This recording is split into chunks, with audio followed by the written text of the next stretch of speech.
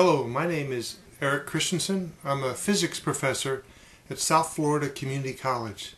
For the past, for the past two and a half years, or the past five semesters, I've been using an open source physics textbook in my general physics with calculus class, both term, semesters uh, one and two. Uh, once I took the plunge, I've never looked back. I find it uh, extremely adaptable and it suits my teaching style perfectly. So I wanted to talk to you just a little bit, tell you what I've done to see if that might inspire you or give you some ideas how you might want to do it. The first thing I did was once I, I, I went to a NSF workshop and I, and I found out about a textbook that sounded really exciting because it was based on active learning. Well, I took it back and I said, I'll just prototype this. So I took a, a small module of it, you know, which covered maybe two and a half weeks and I tried it out on, on my current class. And I just said, instead of your standard textbook, I'm going to give you this new material, and let's go through it and see at the end, uh, I'm going to ask you how you liked it. Well, I got rave reviews from the students. They felt more engaged, uh, had a lot, did a lot of peer peer learning and so forth. It was more the way I like to teach rather than uh, strictly uh, lecture in front of the students.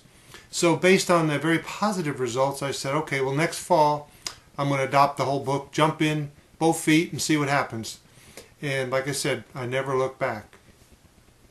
So um, the, some of the rationale why I did, chose to do this was the book I was using was a standard physics textbook that uh, has been around. It's in the 11th edition. It's been around for a long time. But it was not designed from the ground up for active learning. It much more for straightforward uh, lecturing, which, which I don't like to do. Um, it also, the problems uh, did not integrate calculus very much, and I was disappointed in, in, in, that aspect. It wasn't mathematically rigorous enough. It was very rigid in that I had to sort of follow the topics in the way the book had it. I didn't have any choice in shifting around. It was, it was quite complicated to do that. And most of all, most significantly, was students were starting to complain about the cost, pushing, you know, 150 $175 for the book, several of my students came and asked me if, if I if they could if I had an older version or something that, that I could loan them for the course because the cost was just too high. So um, I said I'm gonna I'm gonna try to solve this problem or see what I can do. And um, so the book that I adopted, although you might not be teaching physics, and that's perfectly fine, but mine was Spiral Physics.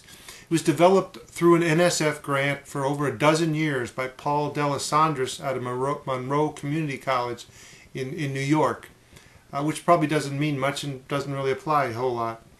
But um, it was designed from the ground up for active learning. It has different uh, ranking tasks and the problem sets, and a lot, lot of it is, is active working in class and peer learning, uh, which to me is a very effective way to have students engage them in, in the classroom.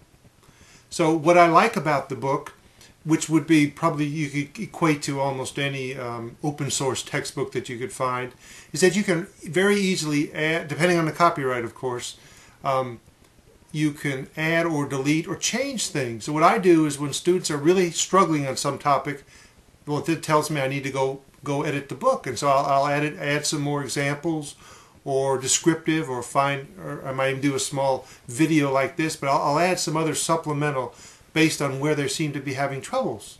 And that has worked well for me and it, so it's gra it's gradually evolving but my changes are smaller and smaller from when I first started.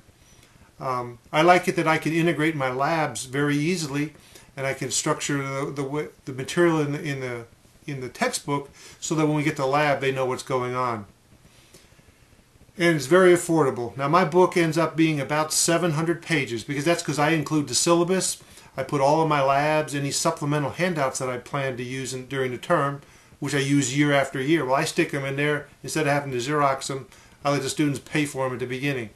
And so my bookstore has, is the is part of a larger. It has a print shop that they can use, and so they just send it out to the print shop, and they shrink wrap uh, a bundle of, and it's about the size of a phone book. It's about 700 pages is, is the book for, for each semester. But a lot of it is problems, and so the students, it's, it's, it's their notes, it's their homework, and I'll, I'll often pull a problem or two out and make that the quiz. So it's, it's kind of like all together. That They, they've purchased the bulk of all paper products that I'm going to even have to supply to them. Well, the bookstore charges the students $13 for this book. So you you do the math, but 175 versus $13, you know, that that's astronomical savings. Uh, students like it, and uh, obviously for the economic side. And then when the book is separated like that, they can only bring in, they don't have to carry a big thick book, they just bring in chapter one or in the lab that we're going to do for that week. So there are a lot of advantages I see from, from going this route. There are no fancy pictures in my book, although some of the open source books I've looked at are, you know, photo ready for um, uh, quite professionally done. Mine is, is not quite that far, but it, for my purposes, it works perfectly. Now, you might ask, what are the challenges of, of, of integrating an open source textbook? Well, there are some, obviously, and most importantly is you're not going to get all of the supplemental information ancillaries that you might be used to. Of course, that depends. Some of these open source books come with test banks and um, PowerPoints, and you just have to look around to find what would work for you. For me, it was not a really a big deal. I modified some that I was using before and then used some of the new material and it evolved as it went. So it did take some more effort, just as you were teaching any course where you change the textbook. Um, again, for the quizzes, I kind of just use problems right from the book. In exams, well, I pull from different places, but you know, you sort of have your standard tests that you like to use. So uh, I didn't find that a limitation at all, although it was some extra work, but you know, it was fun because I was developed creating things on my own there. So I didn't have a trouble with that. Um, I made some little notes down here. I think the biggest thing that I would say is highly adaptable. You can uh, add or subtract material. You can take it from multiple sources and put it in there. You can rearrange things very easily and set it up just the way you like to teach.